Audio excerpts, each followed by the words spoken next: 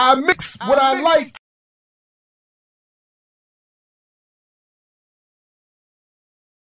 I mix what I like, what I like, what I like, what I like.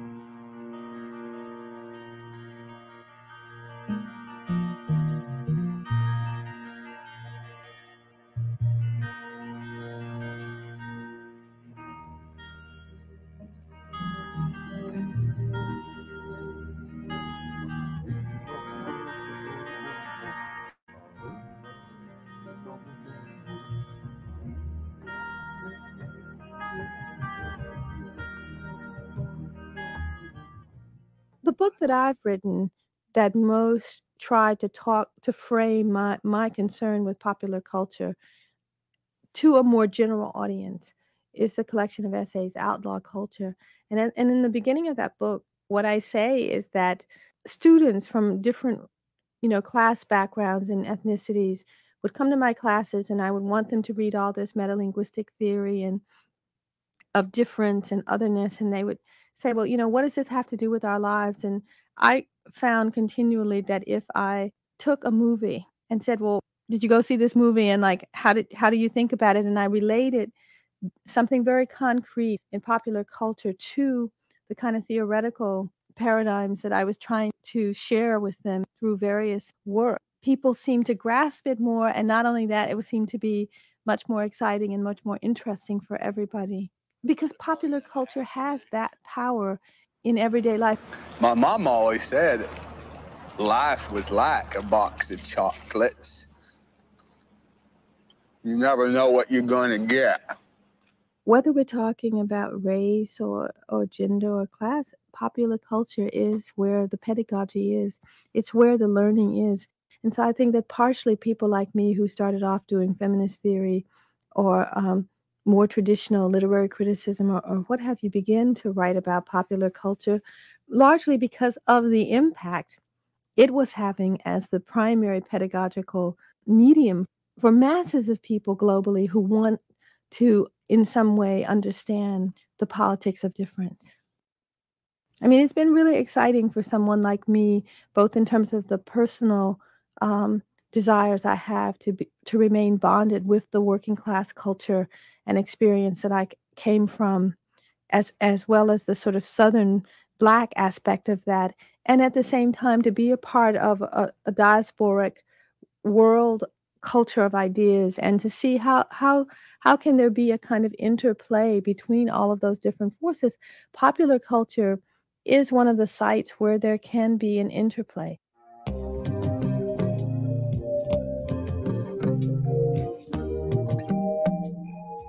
my own sense is that the, the most enabling resource that I can offer as a critic or an intellectual professor is the capacity to think critically about our lives. I think thinking critically is at the heart of anybody transforming their life. And I really believe that a person who thinks critically, who, you know, may be extraordinarily disadvantaged materially, um, can find ways to transform their lives um, that can be deeply and profoundly meaningful in the same way that someone who may be incredibly privileged materially and in crisis in their life may, be, may remain perpetually unable to resolve their life in any meaningful way if they don't think critically. As someone who's moved from teaching at very fancy private, predominantly white schools to teaching at an urban, um, predominantly non white campus in Harlem, I mean, and the first thing I noticed was that my students were equally brilliant in in the Harlem setting as they were when I taught at Yale or Oberlin, but their senses of what the meaning of that brilliance was and what they could do with it, their sense of agency was profoundly different. Um, you know, when students came to Yale, they came there knowing that they're the best and the brightest, and they think that they have a certain kind of future ahead for them, and they they in a sense are open to embracing that future. It has nothing to do with the level of knowledge. You know, it has more to do with their sense of entitlement about having a future.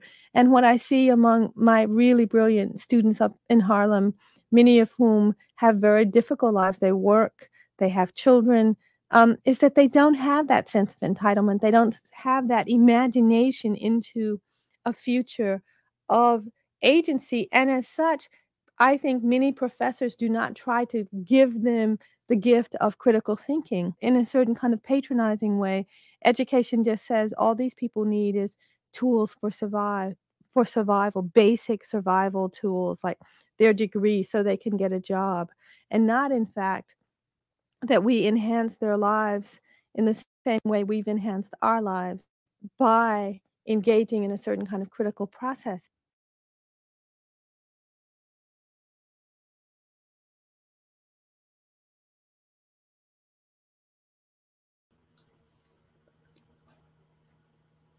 All right, welcome everybody to another edition of I Mix What I Like live right here at Black Power Media. I'm Jared Ball, happy to be your host.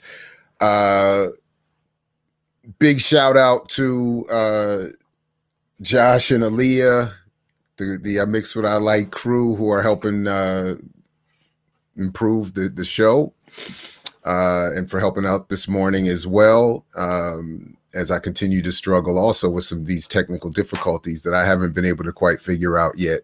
But uh, um, I did want to start today with uh, uh, that little clip a little bit from Bell Hooks. We're going to talk again with uh, Dr. Nyasha uh, Grayman Simpson this morning about uh, the influence of hooks on her work. Uh, and then in the second hour, we're going to, uh, in a similar but slightly different direction, be joined by DC hip hop legend, global hip hop legend, Asheru uh, famously of the Boondocks theme song, but so much more than that. I just know that that's a, a one of the more popular, uh, uh, you know, uh, one of more of his popular contributions. So we're gonna we're gonna uh, uh, but talk with him about a number of different things in terms of hip hop, his career, touring, the politics of the industry, his work with Guerrilla Arts as an educator uh, there's a lot to to to the brother. So we uh, and perhaps even a little bit about bell hooks as well. Um, uh, so yeah, but I did want to start with that because uh, uh, for a number of different reasons. And again, uh, you know, greetings to everybody who's here live, those who will join us later on. Uh, we appreciate you. Uh, those who will hear this on uh, whatever their favorite podcast platform, we appreciate you listening uh, uh, there and then as well uh, please do engage um, with comments and uh, uh, your responses and thoughts. Um, and of course, uh, invite others to join you uh, and to to continue to uh, support this show and more importantly, the platform. Click like, join, subscribe, and get the bell for all your notifications since there's so much happening on the channel later today, later tonight, over the weekend. some things that might just be popping up um, I can say uh, next week in terms of the remix morning show when when the whole crew is back for your boom bap breakfast. Uh, beyond just me trying to hold it down for the crew, uh, we have a number of uh, we have uh, uh, a number of guests already coming through scheduled. some good folks in the All African People's Revolutionary Party doing some podcasting. We're going to talk with them about their work. Dr. Joy James is going to come back uh, I believe Wednesday morning to join the morning show. Uh, look forward to that always. We have uh, Dr. Tommy Curry is going to be with us a week from today on this show. Uh, he'll be back with us. Because, uh, uh, by the way, there's no, I don't, you know, personally, you know, all due respect to whoever's whatever, the holidays, these holidays, you know, don't mean that much to me personally. So they don't adjust my schedule too much. So we'll still be doing our thing um, on what some will be calling Christmas Eve. Uh, uh, others might recognize as the winter solstice. Whatever your preferences are, we'll still be providing you some good content here at I Mix What I Like and Black Power Media. So, you know, uh, uh, happy holidays and happy Kwanzaa and, and all those good things. Um, and whatever you celebrate or don't, we'll still be here.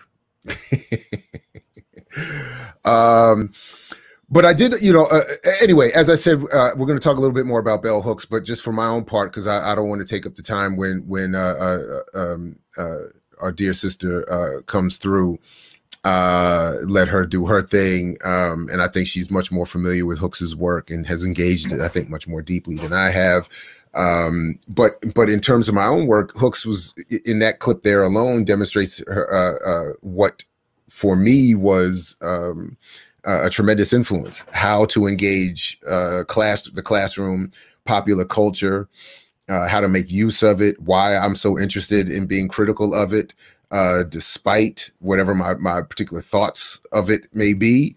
Uh, uh, she exemplified that that point very well, and and something that I find, and and on a much different level, have experienced myself, having attended and taught a little bit at elite PWI institutions, uh, teaching now for uh, um, going on my 17th, 18th year at, at, at Morgan State at an HBCU, uh, where we engage mostly working class diaspora, African diaspora, and, and a lot of Baltimore, East Coast, uh, born and raised uh, um, Africans, Black Americans. Uh, there are obviously differences, but not at the level of intellectual capability. The differences are most prominent in uh, the preparation various students have gotten uh, and preparation to succeed in this particular educational system, um, which is something very different than potential or capability. Uh, and to and to the point that Hooks makes in that clip, uh, uh, specifically the attitude elite whites bring to uh, the uh, to the classroom and their educational experience and their expectations is very different.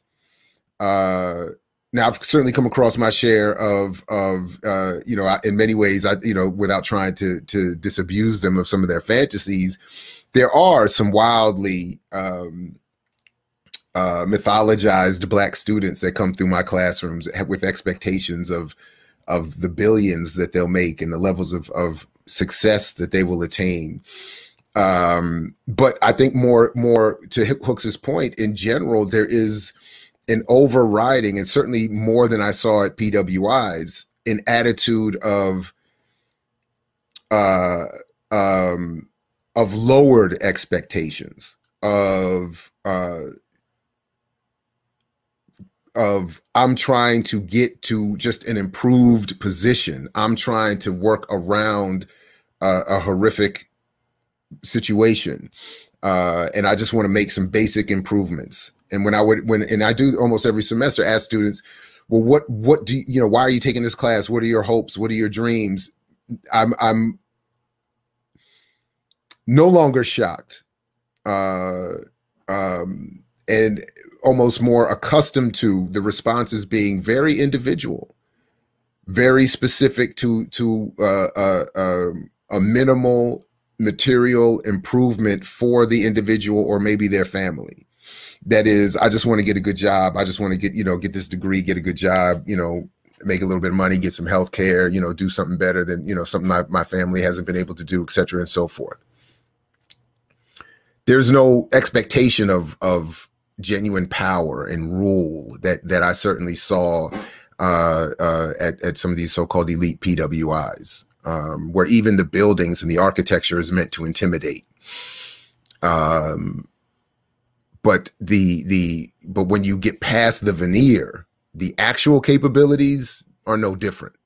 Uh, the opportunities are different. The previous prepar- prep preparation and opportunities for preparation are very different. But uh, um, so I really appreciated how Hooks a- approached that, and often would be the case that that you can bring students into quote unquote deeper levels of engagement when uh, uh, often by starting with pop culture. Uh, they're already engaging it. They're already using it consciously or not to uh, inform their work and their worldview. So it, it, to me, it is it is almost essential that we be willing to engage, uh, despite you know. Uh, again, I'm still suffering the PTSD of the co-authored book chapter I did some years ago about Tyler Perry, uh, where where obviously to to do sound work, I had to engage his work and uh, it's traumatic and it's certainly traumatic to engage that kind of work in in um you know binge type settings uh it's just it's just being inundated with that level of of of trauma is is is you know again relate leads to PTSD but but I think we have to do it and Hooks has always been somebody that has inspired me in terms of how how to do it. Uh, doesn't mean we, again, it's not about always agreeing. And I've seen a lot over the last couple of days on Twitter. Uh, and one that stuck out to me was in response to uh, our, one of our, our guests this morning's tweets. There was somebody that said, uh, basically, if Marimba Ani don't like her, I'm done with it too. Uh, and I get that. I have the greatest respect for Mama Marimba, but I think that that it does us a disservice to not engage people's work or to not find, uh, in some cases, value in people's work, even if it doesn't rise to the level of of those we might prefer. Um, but uh, uh and I think it's important, even if you end up agreeing with Mama Marimba, it's important i think as almost as an intellectual exercise if nothing else just as training that we engage all of the work that we end up being critical of i don't think it's enough to say i'm not going to engage bell hooks because marimba ani doesn't like her or agree with her uh, I think it would be better, even as an exercise, as intellectual training, to engage the work of Ani and Hooks and to see why there are differences, to understand those differences. And then you might even see where the value is of, of, of the one that you are being more critical of. And I, and I don't think we can um, uh, deny the, the, the, the impact of Hooks and her value. Uh, and again, as I said yesterday, and I'll wrap my, my comments here on this, is that if you can go at Oprah, saying that Oprah wants to suck the dick of white culture, if you can go at Henry Louis Gates, if you can go at Madonna and the broader media structure and white feminism, I think uh, um, it's it's it's points scored for me anyway, I saw a brother Kaba popped in, pop back out. He'll he'll join us here in a couple minutes, uh, as will uh, uh, Dr. Nyasha uh, Grayman uh, Simpson. Uh, I'm expecting her any moment now. In fact, I'm just going to check very quickly to make sure she is good. And uh, and there's Brother Kaba. So good morning, my man. How you doing? Uh, let's see. Whoever said that the other day that Bell Hooks is the godmother of Black feminist pop culture critique was 100% correct. Right on. I I, I think that's legit. Uh, anyway, brother Kaba, man. Good morning, man. Uh, um, what's going on with you, man? How you doing today? I'm I'm well, man. Good morning. Good morning to the family. Apologies for being late. You know, I'm a I don't have all my my normal equipment with me today, so I may not sound as as broadcast ready professional, but uh, you know, we're gonna work it out. Okay, all right. Um, looks like is there? Why do we have a delay? Are we? A, is there a, a, a lag there? Anyway, um, not for it, me, it but looks like the it, it, may be because where where where I am, the, the it's not the, the internet is kind of rough in here. So okay, that might have okay. something to do with it. All right. Anyway, uh, so we'll see. We'll work it out. We'll work it out. But anyway, did you have any thoughts on on Bell Hooks's passing? There was there was um, in fact, if I can't just real quick before you do that, let me just because I, I keep forgetting to do this. Uh, because we, as we mentioned on the Remix Morning Show this week, we didn't just lose um, Bell Hooks. We also lost uh, Greg Tate this week, and it was, and I was mm-hmm. reminded that uh, um, how much use uh, I had made of Tate's work in my own over the years, and this here is uh, the the model that I use not only for my dissertation, but um, and I mix what I like, but but that I still use when I approach my classwork. Uh, um, uh, and I think that it's it's still how I see the the um, the media in our in hour in this society in this world for that matter still still uh, being our government is our, our government. Our that's right. Our astronauts. That's right. exactly. exactly. Uh, society. They got you. But but you know, and unfortunately, it is our society, whether whether we're in control of it or like it or not. I mean, but but you're right. I mean, sometimes I slip up. You know, I get caught up in my own. You know, we, hey, we look, I'm subsumed within. In this, this is the the point. So just very quickly, uh, uh, uh, my argument is that, as Karl Marx said, that the uh, uh, the original um, sin of capitalism is commodity formation or the commodity fetish, uh, turning anything into something you could buy, sell, or trade. Greg Tate would later say that African people in the United States were the original commodity and original commodity fetish. And I think that that weds intellectually. Uh, um, who's am I doing that? Who's doing that? Doing what? Is that Josh doing that? Josh, are you making the adjustments here? I, I didn't want to keep this up on the on the screen. Um, there we go. Yeah, yeah, yeah. Thank you uh, um, anyway, so so so Tate, and I and I think that that sets the relationship ideologically in terms of what we are presented with in this dominant media environment. That that uh, uh, capitalism turns everything into a commodity. Black people, African people, are the original commodity and commodity fetish. Uh, uh that uh, sets the the relationship as it must appear in media, if nowhere else. Uh, Downing and Husband said that racism is the conceptual original sin of the United States, and they argued, as many others have, that that this this requires uh, this or aids in what is already our humanity's general uh, encouraged uh, trajectory of defining ourselves not by who we are, but by who we are not.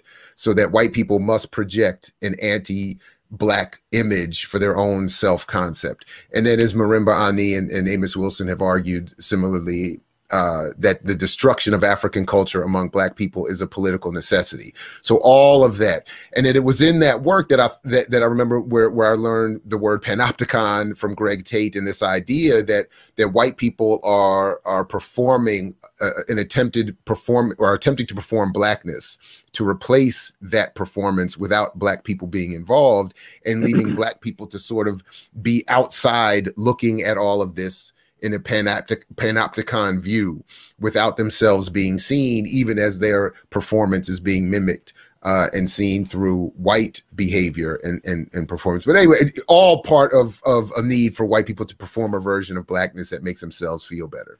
So, i.e., i.e., anyway, I just, Elvis, I mean, Justin Bieber, Eminem. Justin Timberlake, Britney Spears, you know, Adele, Justin Timberlake. I mean, the list goes on and on and on and on mm-hmm. and on. Um, uh, and as Tate wrote back then with everything but the burden, this has been something that white people have been desiring for as long as they could. The the performance well, you know, of blackness without black people. So well, Gil anyway. Scott Heron said Gil Scott Heron said that white people had to create Elvis because they, they couldn't have white girls creaming over no black dude, you know, wiggling That's around right. on the stage. You know, so That's exactly right. Same thing. That's exactly right uh um and then and and i you know again i see the same thing playing out today when course, you look of at, course they, of uh, course there was of course the white girls were still was still doing that over the black men by the way. Well of course. i mean because even they see that you know what is a copy is just a copy you know what i mean? Is it live uh, or is it uh, never so So listen, let me. Our next guest, or, or our first guest rather, is here uh, to to continue our discussion uh, in the importance of of bell hooks. And again, we're, we're going to welcome Dr. Nyasha Grayman Simpson, who, among many other things, is the Henry S. Delaney Professor and Associate Professor of Psychology and Africana Studies at Goucher College, up the road from, uh, or or down the road from where I'm at at Morgan State. Uh, and we welcome her back to the program. It's good to see you again, Dr. Nyasha. Good morning. Good morning. Good morning. Are you able to hear me? Yes, loud and clear. All right, perfect. If you don't mind, I'm actually going to start with a few deep breaths just to kind of center myself and ground okay. myself. Sure.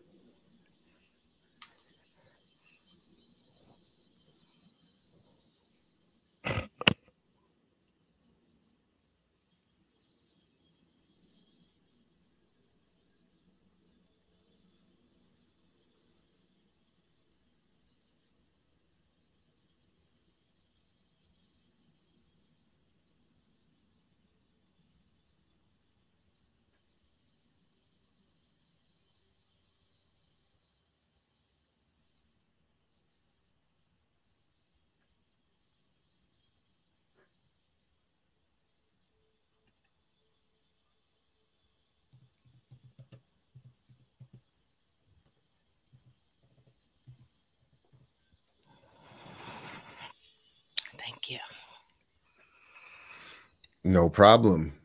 And again, welcome. Uh, I know that you wanted to to talk a little bit about the importance of bell hooks and her influence on you.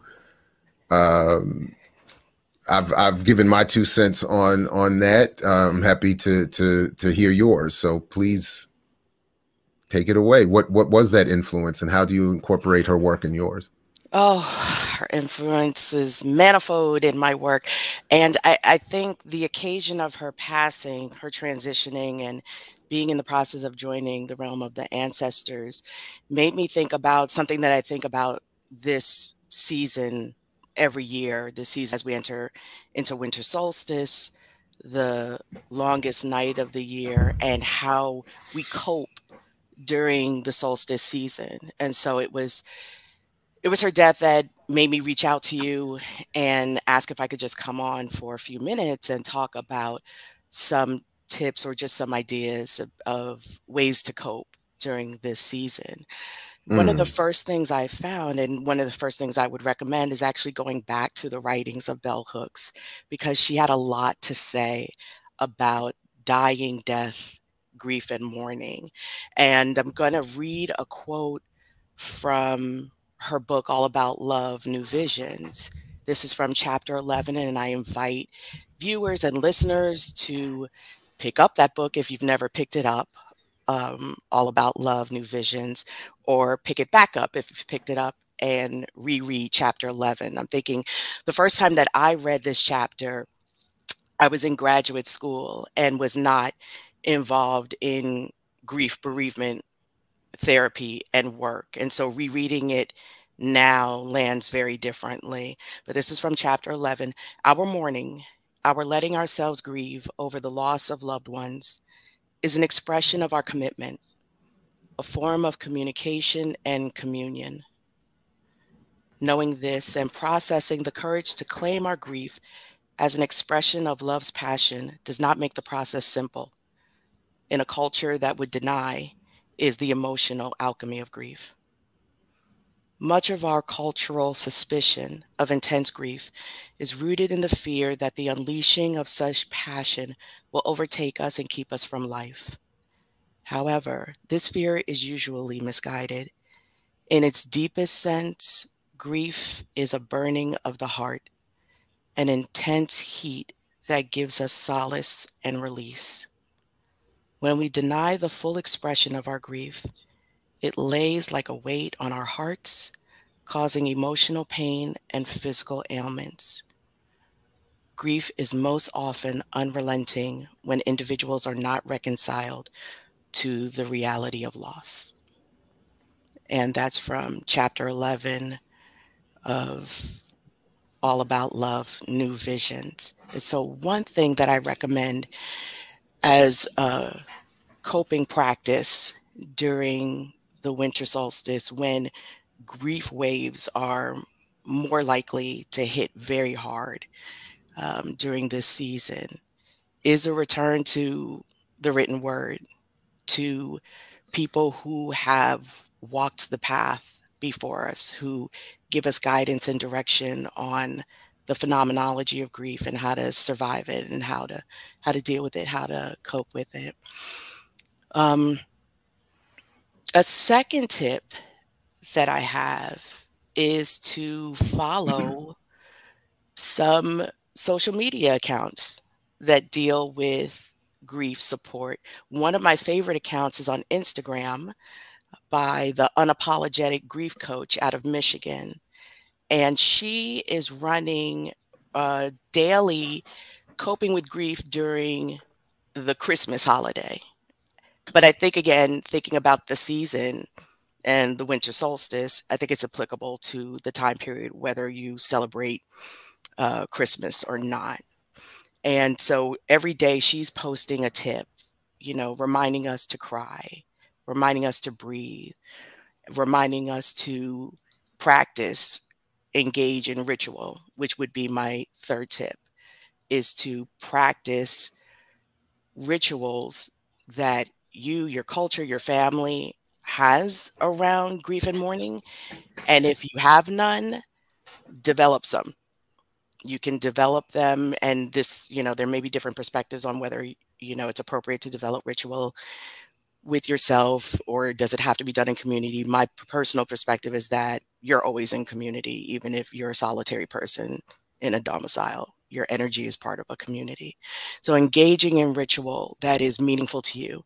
And ritual is really important because it acts as both a container for our mourning, the outward expression of our grief, and also a portal for release. So for those of us who do need to continue to function in a world that's in a society that's not very amenable to giving us proper time for grief and mourning, like other cultures, the engagement in ritual can be really helpful in, in that respect. And then thinking about some grounding techniques, because one of the things that happens typically during a grief wave or a grief burst, as we call it, is that our sympathetic nervous system is highly activated. And one of the things that we may want to do is engage in activities that help to calm the sympathetic nervous system and soothe the parasympathetic nervous system, some grounding techniques, starting with the breath. So that's why I started even this, this time with you, um, focusing on my breath. If you can get your cycles of breathing down to five in a minute, you've probably tapped into the mechanism that allows the parasympathetic nervous system to be soothed. If we were to, you know, kind of time your cycles of breath now in and out your nose, depending on whether or not you practice uh, paced breathing, alternate nostril breathing, these kind of grounding breathing exercises, you may be breathing as high as 19 cycles, 15 cycles, 19 cycles a minute. That kind of tells you that you're actually very activated and that the grounded body is breathing more like three to five cycles a minute. So, focusing on your breath, if you don't have a deep breathing practice, start to develop one using soothing sounds, sound healing, like I had playing in the background, helps to facilitate the grounding and the centering. Another grounding tool that you can use. I put one on for today. These little is a spiky ring or something that you can touch. We can also use ice. We can use uh, uh, fidget gadgets, things like that. But something that brings you back to the body, because one of the characteristics of being overwhelmed by grief is dissociation from the body. And so something as simple as a little trinket, which I got from um, a distributor that shall not be named because this is I mix what I like. but they come like in a pack of 10. mm. But just mm. having this on sometimes and rolling it back and forth can bring you back to the body. And then, as I used with the breath, um, some type of aromatherapy, oil, the olfactory senses is one of our oldest scents. And so the the use of that coupled with the deep breathing can be very calming. So um, those are a couple of self-help tips. And of course, I want to add that if you're experiencing persistent thoughts of your own death or the death of another loved one, suicidal ideation, uh, suicidal thoughts, if you're experiencing um, persistent difficulty sleeping, nightmares, um, extreme sense of fear, startle response, and or flashbacks, those are all indicators that it's time for you to reach out for some kind of professional therapeutic help, a licensed counselor or a licensed therapist. Um, that it's not the time to uh, try and bootstrap it on your own, just from a mental health perspective, because those those behaviors, those activities of the body suggest um, a, a, cluster of behaviors that we in mental health might call acute stress or traumatic stress. And so, um, again, as a as a Western trained mental health provider, I would say go and tap into uh, a Western trained licensed therapist to help you with that, who can also help you navigate using your insurance to help pay for that healing. Mm. so those are those are mm. just a few things that I wanted to make sure that your audience had in terms of um, going into the season and managing the season, which can be really difficult. Bell Hooks is, um, I mean, for me, she's like a she's like a virtual because I didn't know her personally, uh, mentor and intellectual godmother. You can, I wrote this, uh, you know, on my social media post. You can see her influence all throughout my own scholarship. Um, she inspired me in my first position out of grad school at the University of Delaware to initiate a research project on Black love. That was a direct mm. follow up to reading her trilogy on love and particularly Salvation, Black People in Love. And it's been a major kind of philosophical foundational influence on my intellectual work around Black positive psychology has been that text, Salvation. I have been, to my surprise, I guess, because I didn't know her personally, although I should know better, knowing what I know about how grief works, have experienced multiple grief bursts over the past few mm. days because grief can be cumulative. We know this. And so the passing of someone you feel an effective connection to can also open a portal to pent up grief you didn't realize was there. And so I think um, her death then just opened the portal to grief of learning about a friend's mother's death, a friend's cousin um, dying suddenly and tragically in Atlanta, being hit by a car after having a car accident. Just all things mm-hmm. that maybe you think you've processed and kind of addressed, but grief has a very funny and persistent way of letting you know what is is still left undone eh, which bell hooks tells us as well so i encourage go back to her readings read all about love read what she has to say um, practice grounding techniques follow other uh, professionals who are giving a ton of wonderful free advice on platforms like instagram and um, reach out for professional help if you need it. This can be a very difficult season and also a very beautiful season.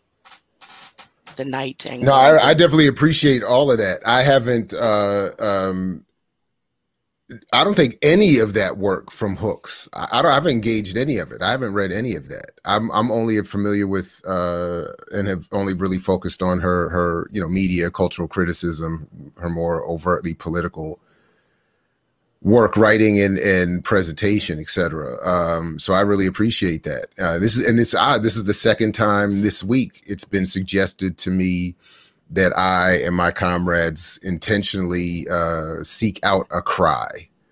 Um, uh, and I admit not to having, you know, I don't have the most appropriate response to that. I haven't, I don't think, you know, like I, I was even just thinking as you were talking, I don't think I've cried. Like I was, I was busted up a little bit over over Glen Ford passing and trying to to make some comments about that. Um, uh, but like a real cry, it the last time I could remember was it actually happened publicly because of something our dear brother wrote in support of at the time uh, um, you know when my my uh, second daughter was born she had some some breathing issues and was hospitalized. And i had to give out i happened to be uh, across country giving a talk and he wrote something i'll never forget this either. He wrote something that i read from the podium at my talk.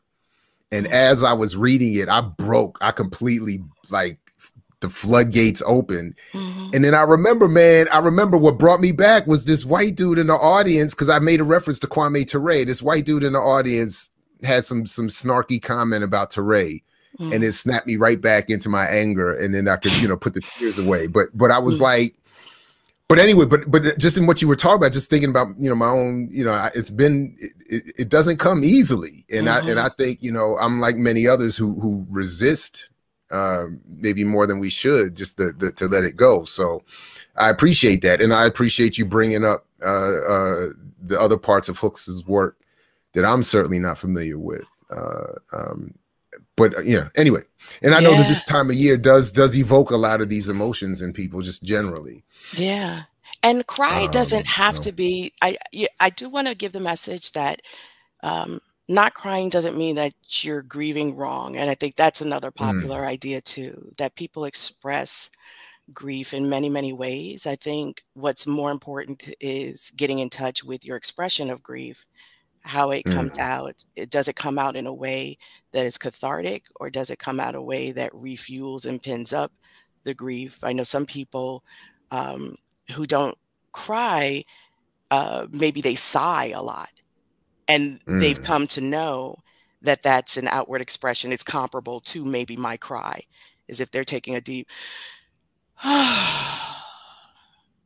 know it's almost like a collapse and mm. a mm. release mm. so um, getting in touch with how your body grieves. I mean, thinking about the tears, there are three different types of tears, and the sorrow tears are a particular type of tear. There's a chemical in them that I learned that does actually facilitate the body's experience of catharsis, right? So, you know, we have tears.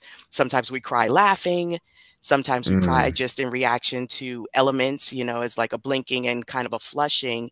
And then there are sorrow cries that have a different chemical composition that is thought to believe facilitative of of the cathartic experience when we have a good cry as people say.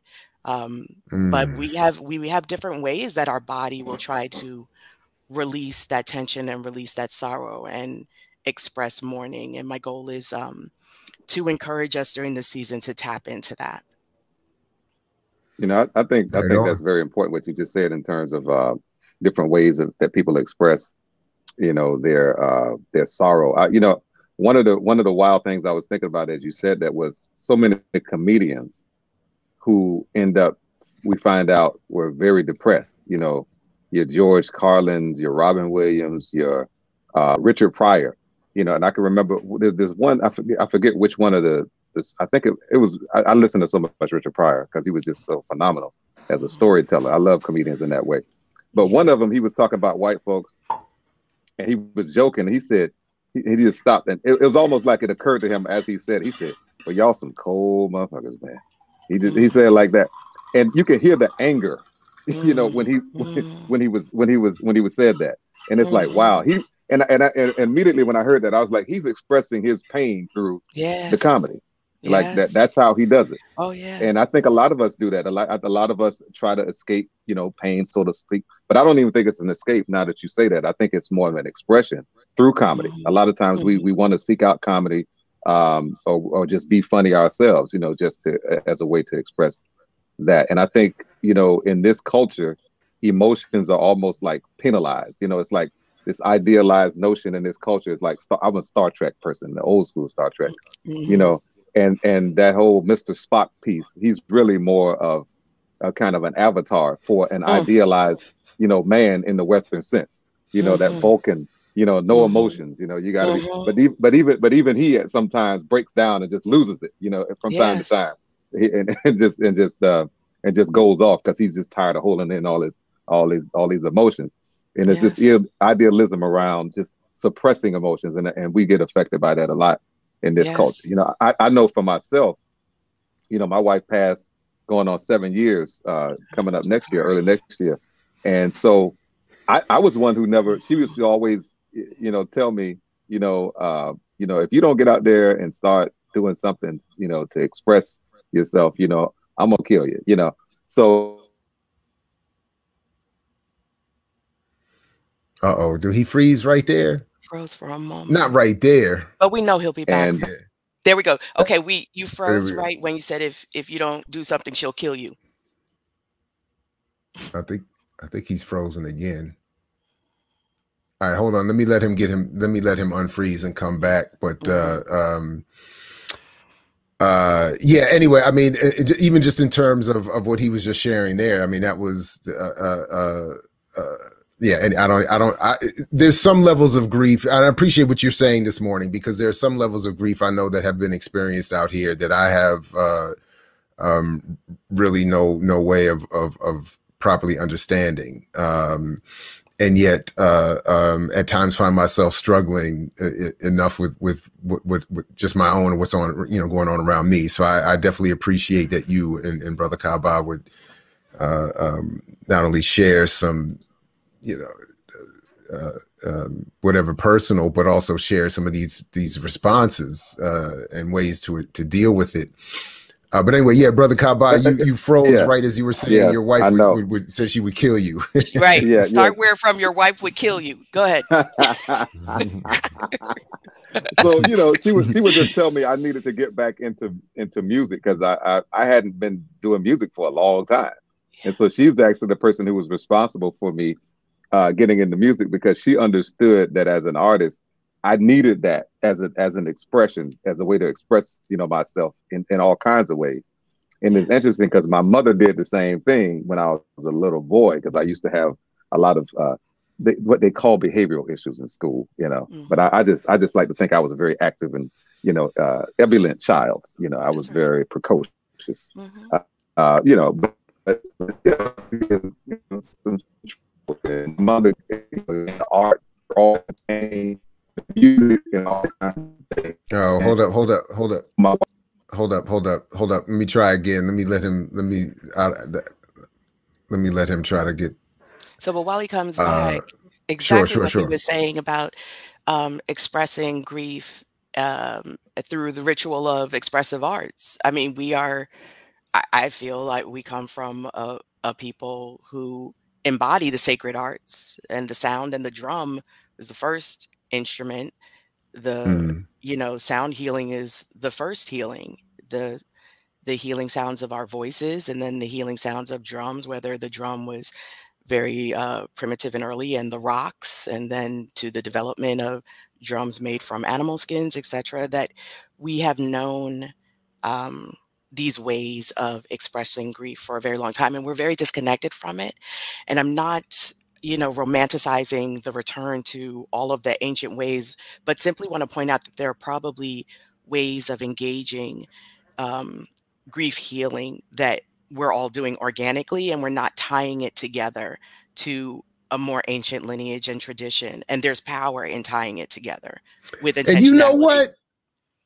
I just got word this week. I need to reach out to her. I just got word this week that that one of these foundations had the nerve to turn down the the the grant proposal I submitted to do to do research or to build on the work that that Maimouna Youssef and her mother and grandmother had been doing for years around sound and healing. Mm, Um, wow. uh, and they had the nerve to say that just this week that there will there's no room to fund that project. How dare they? And then here you come, right, right 24, 48 hours later to say how valuable that kind of work it's one of the is. most primitive healing tools yeah. I mean, that's and that's and and do are you and and then do you, I got to shout out uh, uh, uh, uh, my my brother uh, Bryce, uh, Doctor Bryce, uh, Daryl Bryce, for putting me onto the work of Raymond Rife.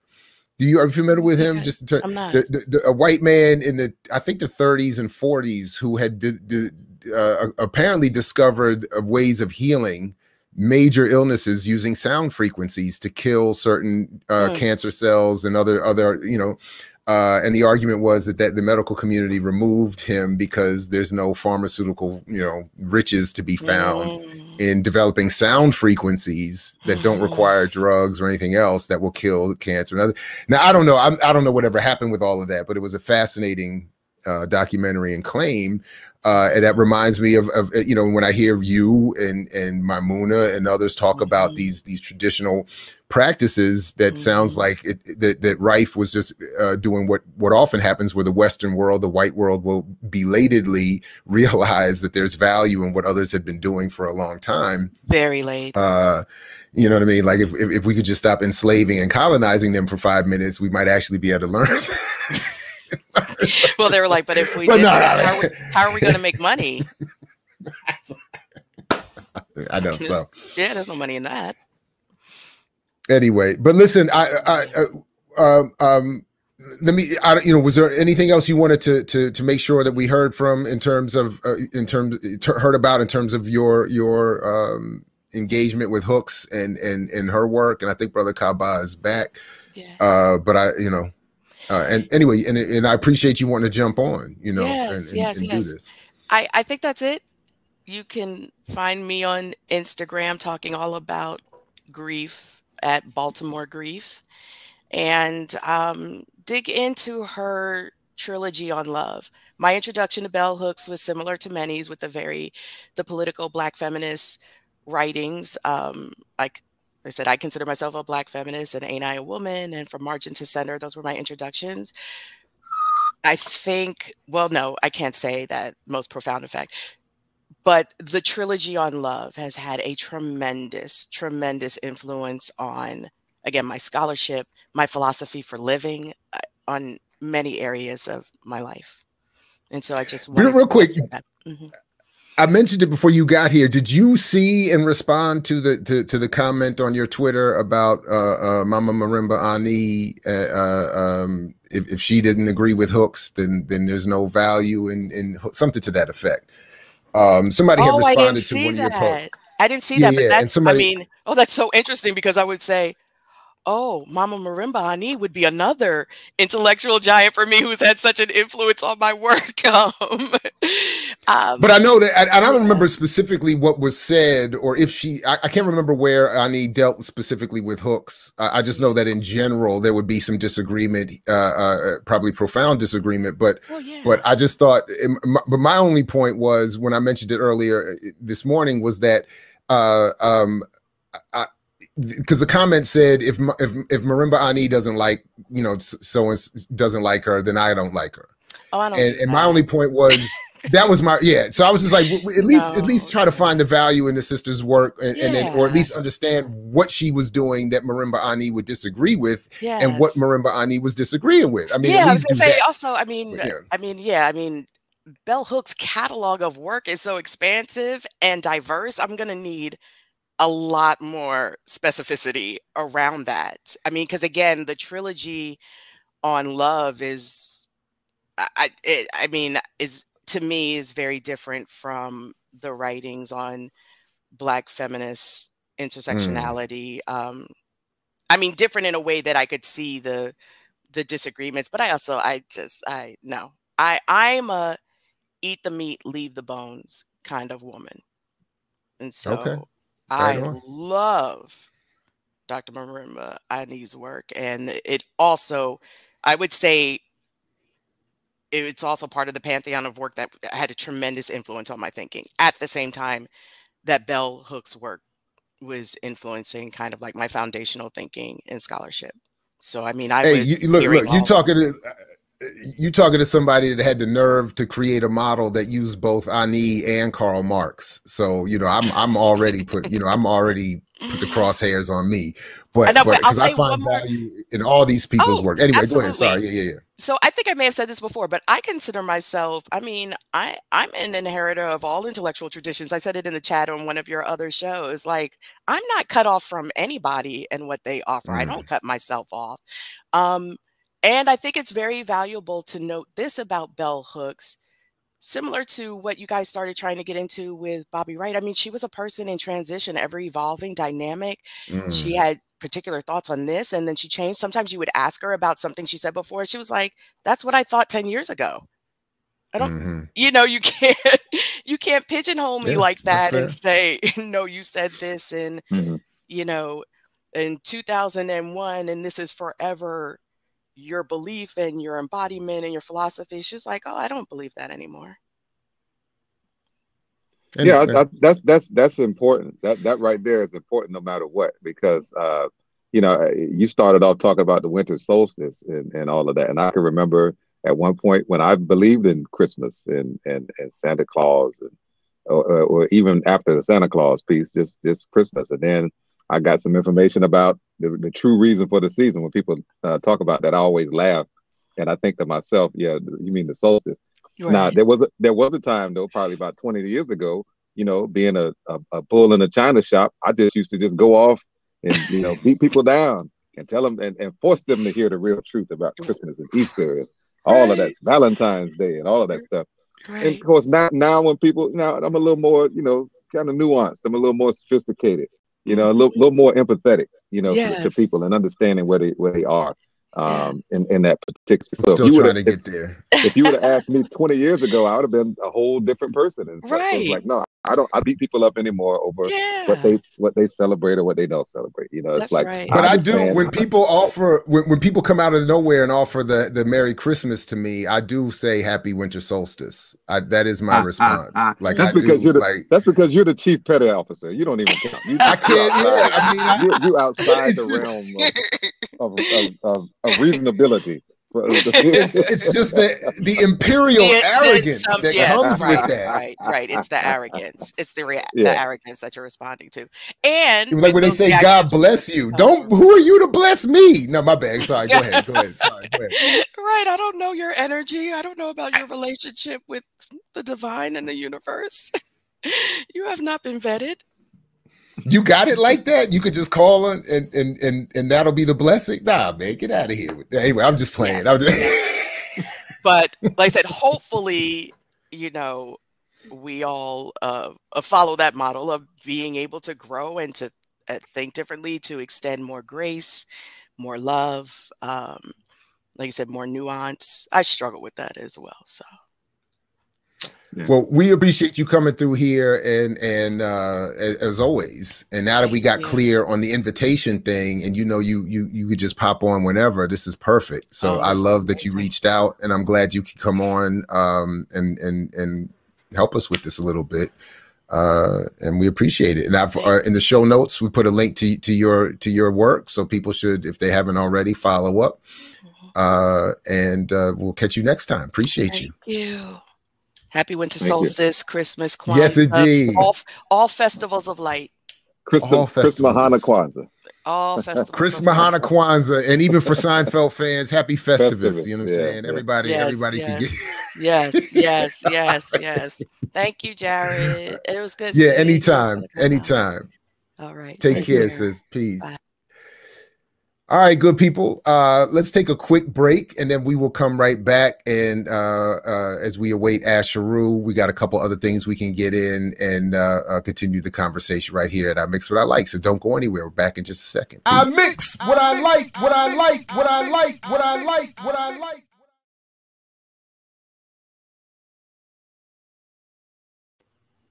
All right, brother Kabaz, we push forward here. Definitely big shout out to to Dr. Nyasha. Uh and uh uh yeah, she said 15 minutes. We knew it was gonna be more than 15 minutes. We needed and, needed to be more than 15 minutes. You know what I'm saying? Mhm.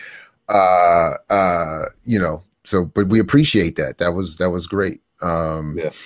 So I know my man Asheru is is uh, likely on his way, um, but there was a couple other things that I know I was hoping uh, to get to, so we can we could take some time and get to some of that uh, as we await uh, our, our guest.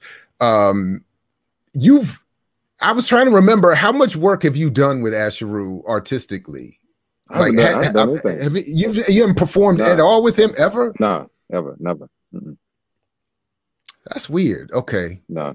I would have I would have if I was if I was doing like a uh um you know trying to do whatever these DJs do these these I, that's I would have tried to cr- uh, arrange that collabo for for a mixtape yeah. for sure. That we we been, did we did have a now we've never really formally met, but we did kind of meet in passing, and I, will wait till he's on week to talk about that because I, I think I mentioned okay. it before uh, briefly. Kind of I kind of referenced it before here on the on the program, but we'll get more into it.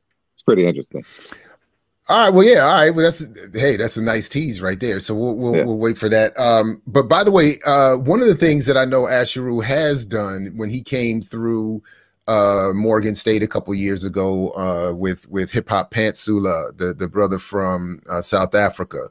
Uh, um, uh, they came through Morgan, and I want to use that as a ref to make a reference to to not only my my institution, but the HBCU project. I'm inviting people to participate in. If you've been a student, staff, administrator, parent of uh, whatever, and had any engagement experience with HBCUs, please go to imixwhatilike.org and um, jump on the the well, it's up to you how short or long it is, but the the the, questionnaire that's there, I'd, I'd love to hear from you um, as that project continues going on. So it's the Not a Different World project uh, at imixwhatilike.org. Please encourage and and do that yourselves. Um, let me let me see something here. Uh, let's see. Let's see. Okay. All right. Nope, that's not him. All right. So let me let me just see if uh, um, while we wait for him, let's let's do a couple things here because there's one thing that um, I know we like to pay a lot of attention to here at uh, Black Power Media and certainly at this program as well. Uh, the the continued plight and struggle around political prisoners. Um, and there was a piece written recently about uh, the ongoing struggle with Russell Maroon Shoatz, who we covered was recently just released. And what I'm going to have to do, it looks like, let me, all right, that's not it.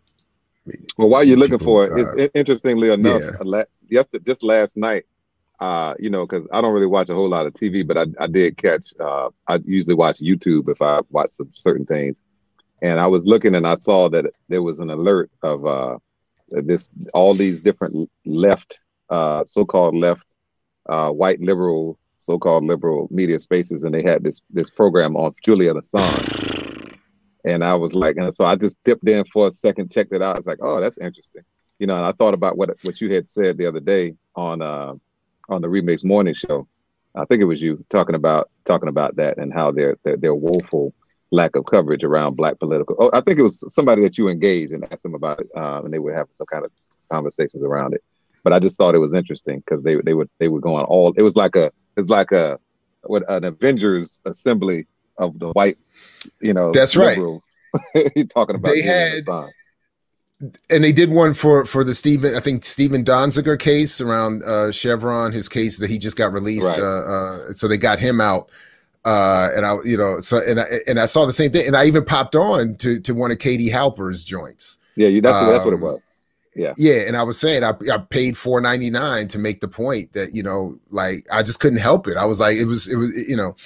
But uh, um, the petty and you, uh, the petty and you couldn't help it. Go ahead. The petty and me, yeah. I ain't mad. Ain't nobody mad at that one so so josh do me a favor and scroll down on that a little bit uh, uh just uh, we'll get to this and just thank you very much. You can just leave it right there um uh so folks can see the title and, I, and i'll put the link in the show notes if it's not already there to this story by charlotte rosen uh um on russell maroon shoatz death by regulation.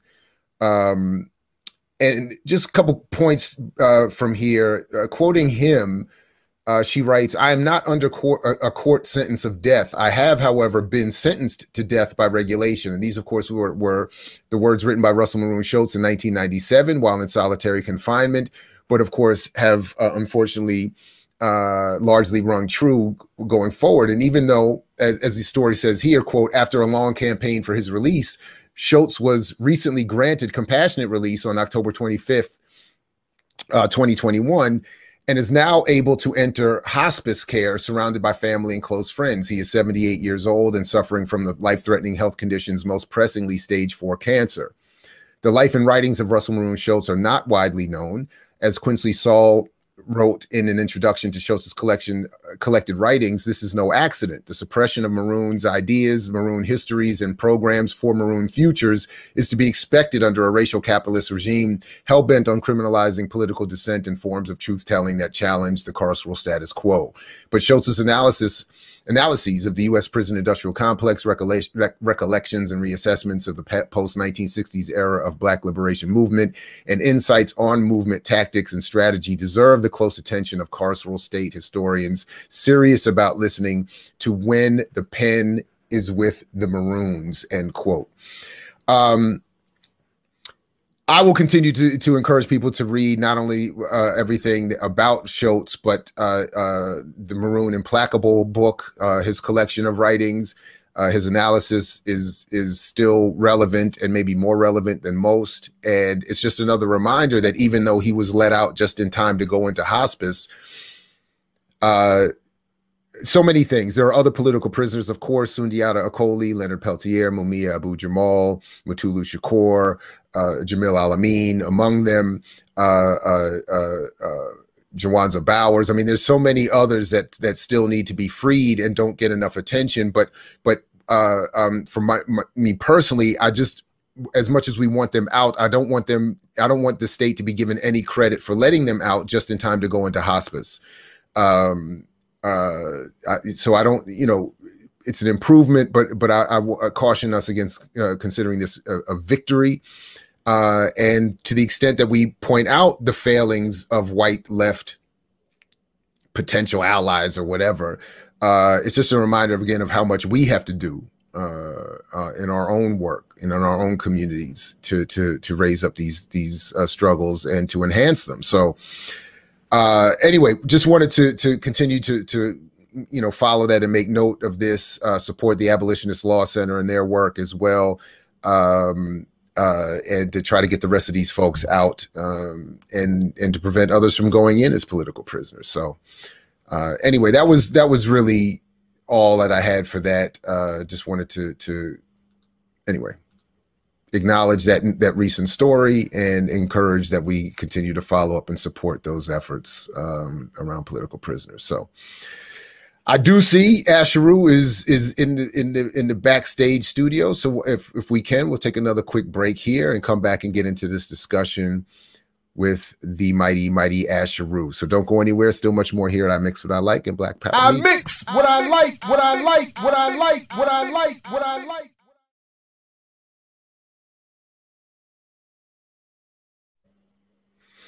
All right, so as many people may be familiar, and unfortunately, I, uh, uh, um, not enough are familiar, maybe with his broader catalog of work. And I know he's got some new work he wanted to, to bring to our attention as well. But we know we have the the uh, uh creator and uh, author of the Boondocks theme song, which I think is one of the best, if not the best, television theme song ever. And I used, and I have a lot to pick from. You know, I mean, it's like the Barney Miller joint was hot. The Sanford and Son joint was hot.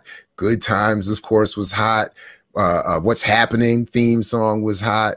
Uh, the Jeffersons theme song was hot. But I think this Boondocks joint is is is, is tops them all. Uh, um, had the pleasure of seeing him perform it live, rocking with the Elves. All it has a, an incredible catalog of music, actually, uh, coming out of, out of DC, but really a global artist and activist and educator. And I'm talking about the Gabriel Asheru Benn. Welcome, good brother. It's good All to right. see you again. And good morning. Good morning. Good morning. Good morning. How you doing? Good morning. Doing great. Doing, it's brother? good to see you again, my man. Good to been see you too, long, man. man. It's been a minute.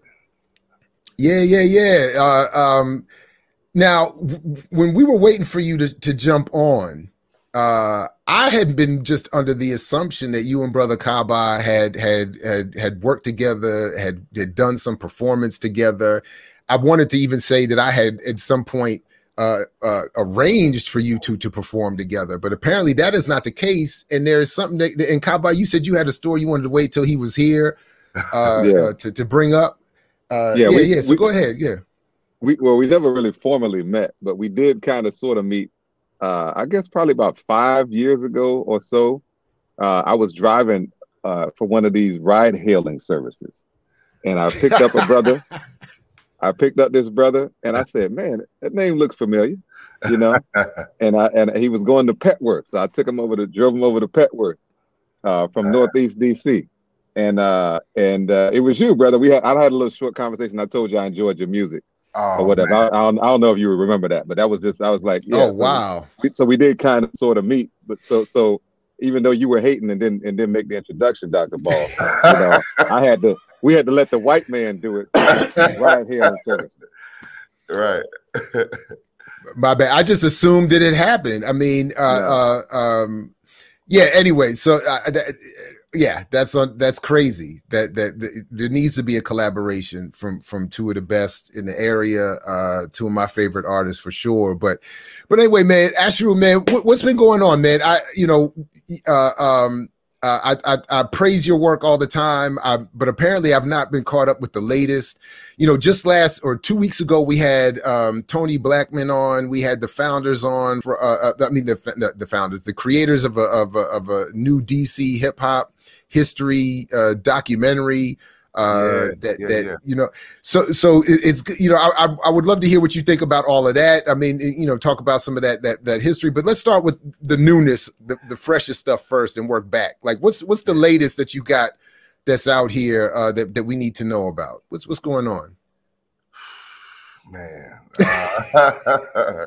Because I know you got the music, you got the guerrilla arts, there's, there's the educational, so so you know there's a lot of new to catch up with. a lot So, of new so wherever you up. would So, um, I mean, man, I haven't, I haven't been as active in the music as I'd like to be, but um, I still, you know, I still pull my sword out every now and then. Mm, And so, um, the latest I put out, uh, Two Tone DJ Two Tone Jones put out a project called uh, Contraband from India, and it features a song with me, Joe D, Prince Poe from Organized Confusion, produced by Diamond D, which is like super dope. And you know, it the Wow. other side of that though is that we all, Diamond D, myself, Two Tone, um, we all went through the State Department uh, Global Hip Hop Ambassadorship together, and so it was kind of also like us doing a group project in that lens. And um, so he sampled a lot of music from India, which is the country that Two Tone went to. I forget where Diamond D went,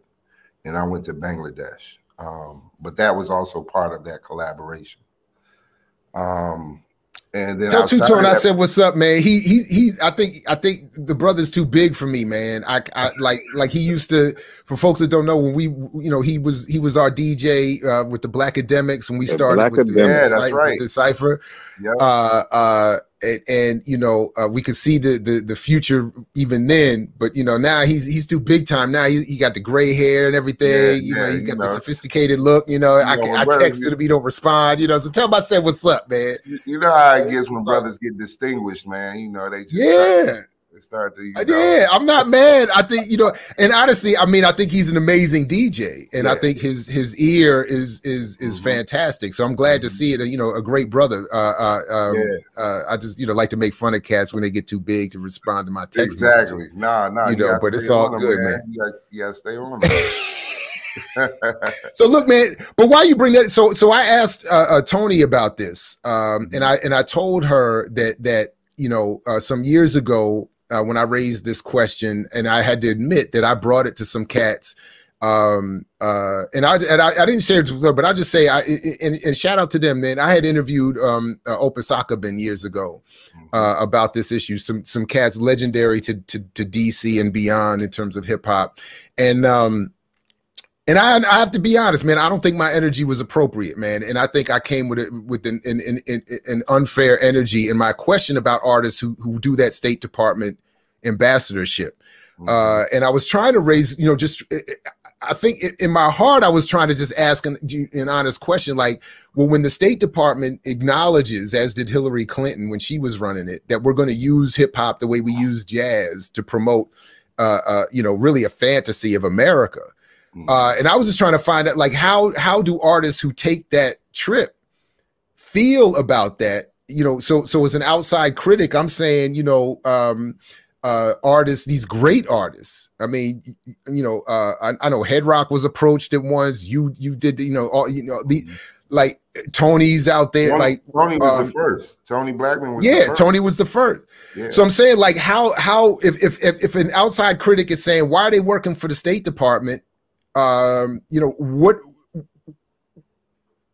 what what are we missing and what from your perspective is is happening that we don't get to see uh, um, and then also I have to be fair. Like nobody has said, Jared, we want to send you around the world to right. share your ideas and your work. Right. Like, what would I do? You know, I don't get invited, so it's easy for me to sit there and say it's it's it's, it's politically, um, you know, uh, harmful maybe, but but I don't really know, man. So so tell me what, man. You know, when we when we all right, so when we got the call that we were going to do it, right?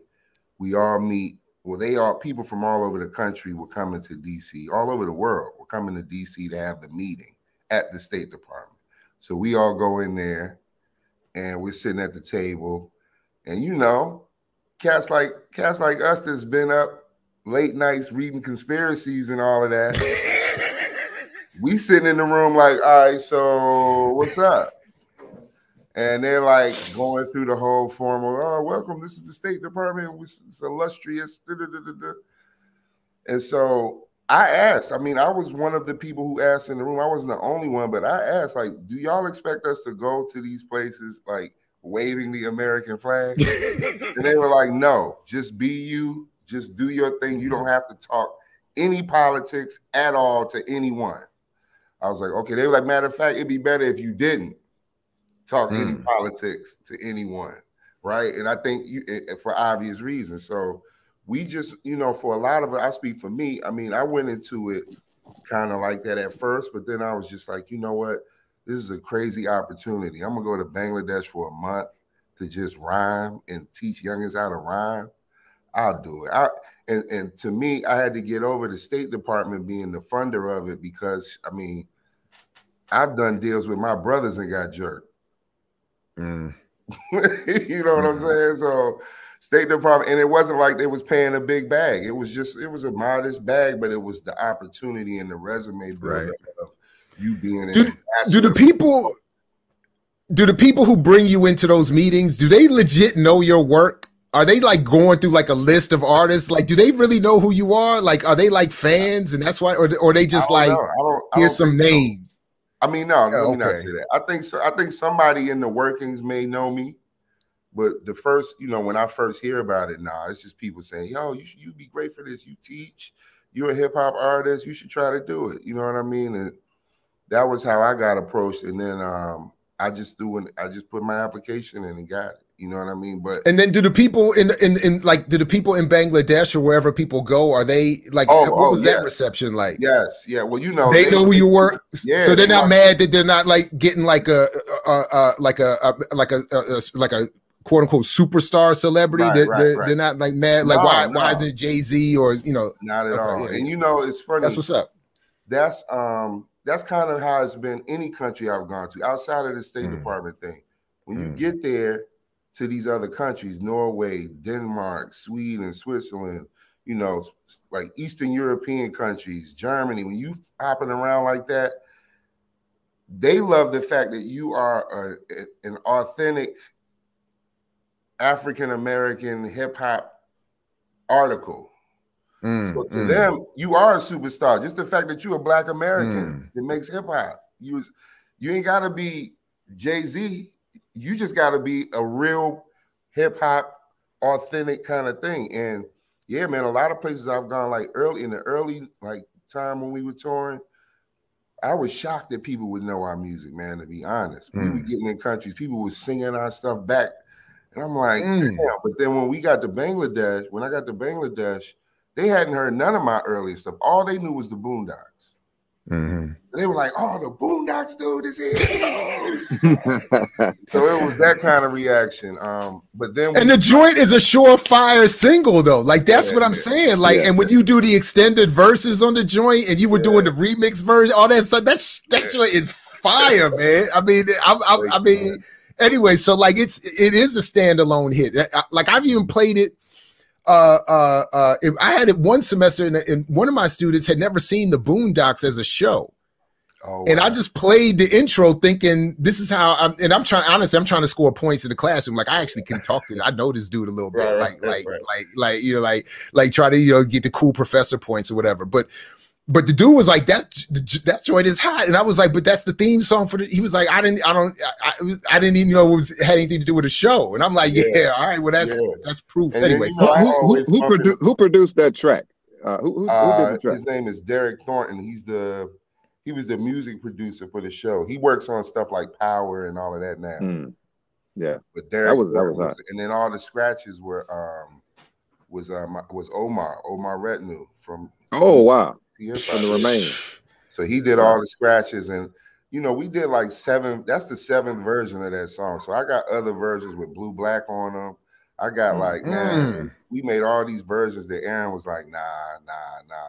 And I was like, yo, these joints are fire, bro. What is wrong with you? You know what I mean? But that's the Do one. you realize that one of the last nights I went out that I left the house was years ago to see your reunion with Blue Black at at at at oh, at, at, at, at, the I don't even remember the, what's the name of the Blue spot Bars, I think. at Bloom at Bloom Bars. That's Yeah, right. Yeah. You have Munir out there with the guitar and all of that. That's I was right, like, I gotta right. be at that joint. That was that was a big reunion type Yeah, thing for me. So I was like, man, and, and and I've been out the house like three times since. Like, And this year is our 20th anniversary of Soon Come, my first album.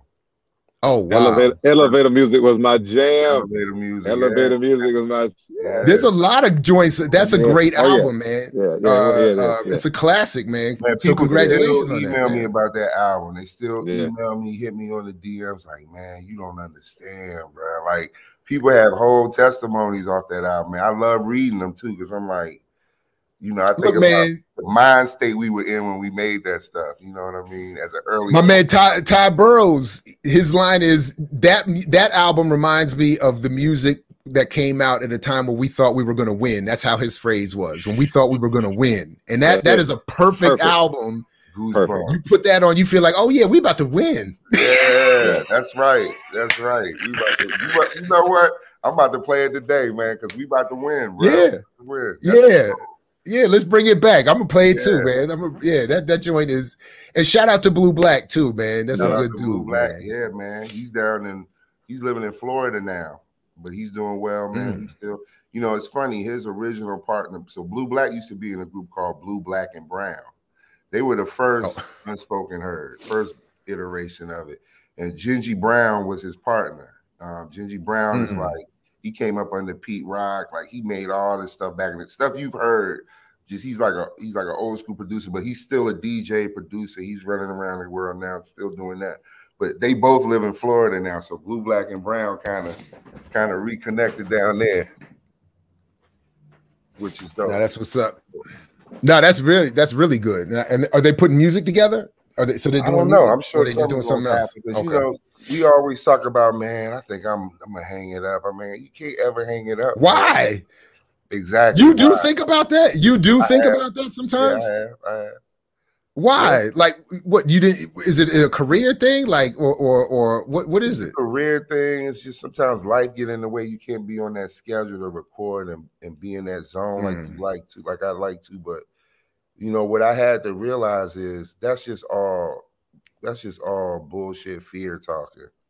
Ain't nobody going nowhere, man. We gonna keep Okay, making good. music. We gonna keep writing songs. It's just not.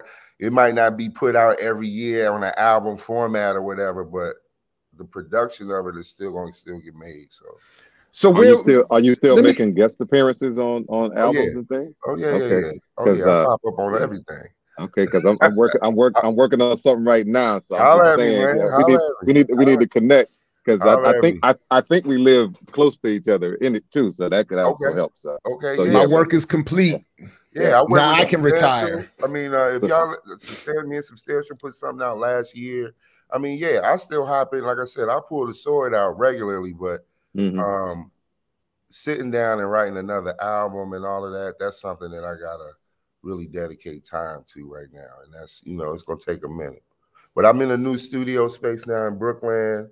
Uh, we just opened up our studios to the public. It's a recording slash co-working space um, in Brooklyn in the Arts Walk.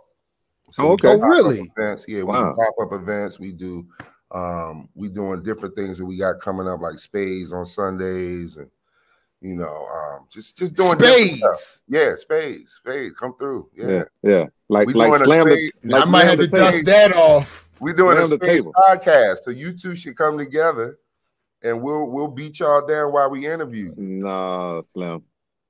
That's not gonna You happen. now you're talking crazy. Nah, No, nah, that's not gonna happen. I invite. Oh you. no, Me- no. Me and Big Rock versus y'all two brothers. We'll sit at the table, Listen, turn the camera on. We'll talk about everything y'all got going on. Brother I don't think Kabal, you we gotta take it back.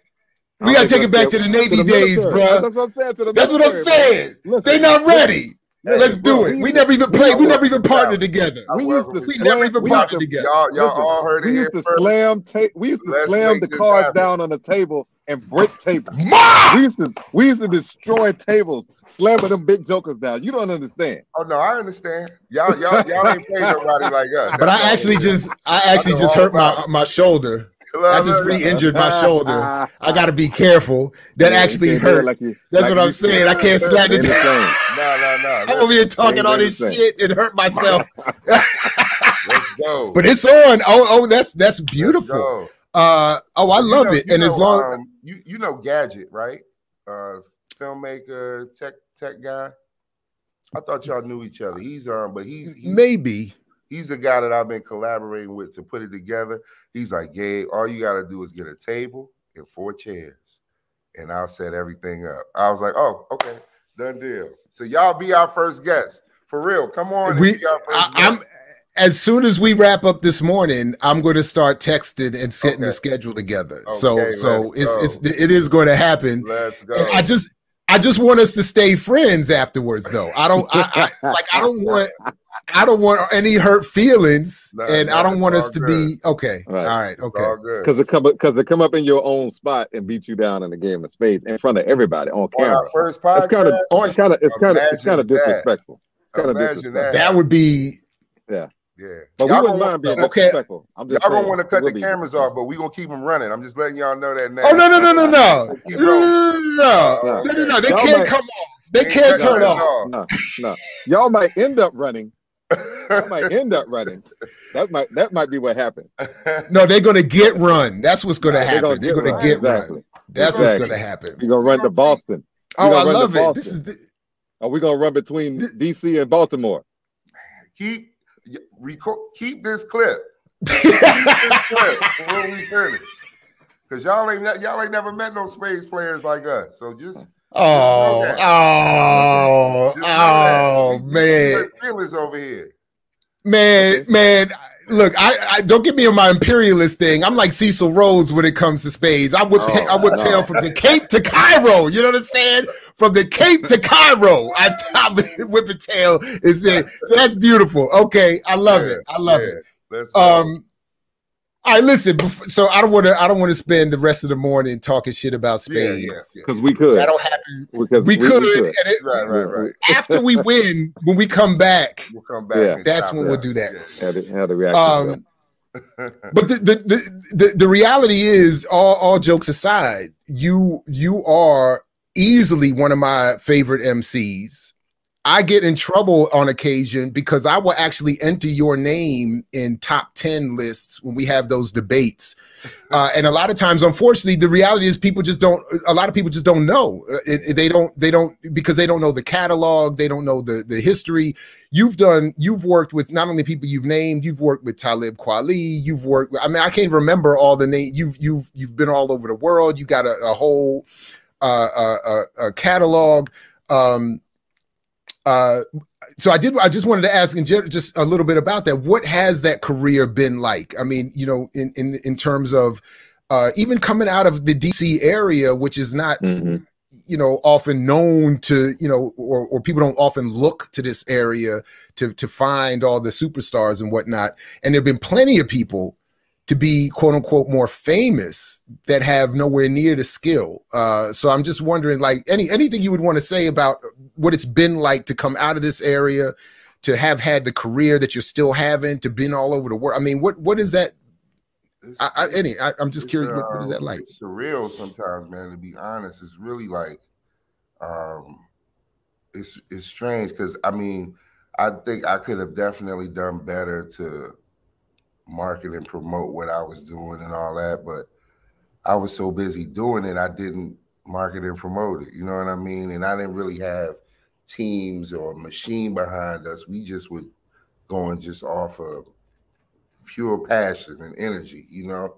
And so I think if we had other systems in place, it probably would have been a hmm. springboard and done some other stuff. But to be honest, man, I feel like the Forrest Gump of this rap shit, man. I have been Mm. all over the world. I've been in all these situations, been in places nobody will believe. You know what I'm saying? And I Mm. just, but it's like a tree falling in the forest. you know what I mean? So it's like people don't know, but I've had some amazing, like life changing experiences through hip hop, through my career, through making music and traveling. Um, 25 something countries, you know what I mean? Doing like, I mean, working with some amazing artists and building new Let me ask you, who are your favorite artists to work with? Who who have you crossed paths with that that you really enjoyed that experience? I mean, Uh, re- rest in um, peace, Jabba, but he was one of my favorites to work with mm, because it was so like automatic. He walk in and it's like, let's make a song, and song is made. You know what I mean? mm. um other people um i mean um substantial substantials. I like working with him too. Um you know me wayne and roddy we put we did a lot of work together. We got a whole Mhm. album in the tuck. It's just sitting there not coming out. Ask roddy don't yell at me. Um like you know so blue black he's one of my favorite. I mean always easy to work with. Um raheem devaughn to be honest. Yeah. Mhm. Anything I've ever sent Mhm. Raheem, he sends the shit back in a day. Quick. Mm. Like I'm impressed by quick, quick workers. I don't work quick. I work, I take my time.